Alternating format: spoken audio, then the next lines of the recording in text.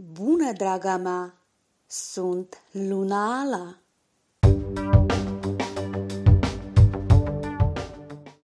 Prima jumătate a lunii noiembrie poate fi una dintre cele mai aglomerate perioade din 2022. În acest moment, reprezentanții acestui semn zodiacal se vor afla sub jugul oboselii acumulate și al stresului intern. Stelele promită leilor o reevaluare a valorilor.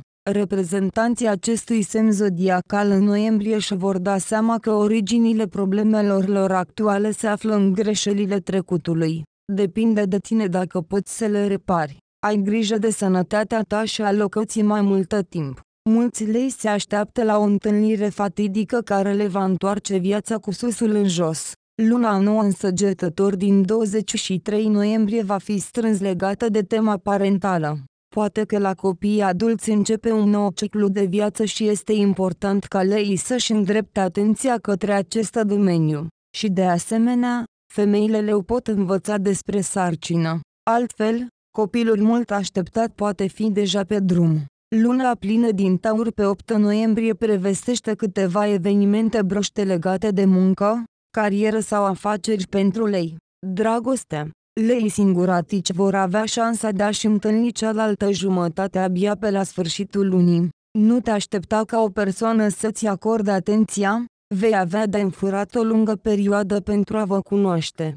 Va trebui să muncești din greu pentru a câștiga iubirea alesului. Eșecurile pe frontul iubirii nu vor face decât să te provoace. Ești obișnuită să fii întotdeauna prima în toate și nu vei da niciodată înapoi. Reprezentanții unei familii pot înregistra o răcire în relații. Motivul pentru asta poate fi propriul tău comportament.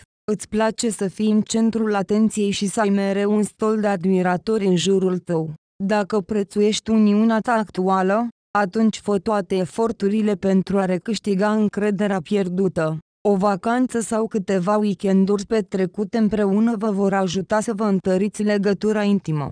Sănătatea Datorită ritmului actual de viață din această lună, ar trebui să fii atentă la bolile cardiovasculare.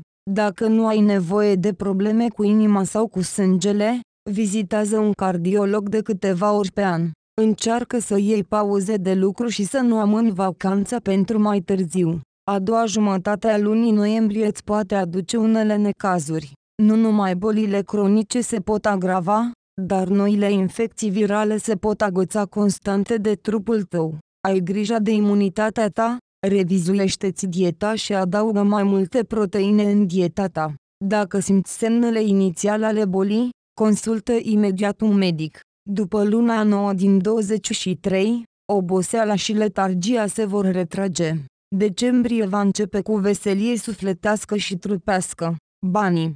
La locul de muncă, situația nu va fi cea mai ușoară, dar lei vor putea obține sprijinul unor oameni care au aceleași idei. Ești fără îndoială, liderul echipei tale. Dacă lucrezi pentru cineva, vârful activității de afaceri va fi la mijlocul lunii. Te așteaptă noi comenzi și probabil va trebui să pleci într-o călătorie de afaceri. Reprezentanții semnului care desfășoară activități independente pot simți că lucrările au evoluat în sus, Principalul lucru este să nu se relaxeze și să câștige avânt. Din punct de vedere financiar, luna este destul de favorabilă, dar este puțin probabil să se poată acumula și amâna ceva pentru viitor. Cu cât câștigi mai mult, cu atât vor apărea mai multe cheltuieli neplanificate.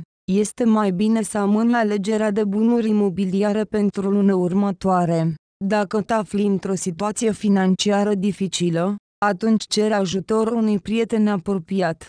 Amintește-ți că trebuie să trăiești în limitele posibilităților tale, și nu adunând de datorii, mai ales pentru divertisment.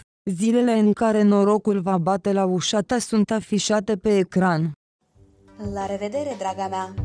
Nu uita că în fiecare zi îți dăruiesc o previziune și o etalare de tarot. Te aștept!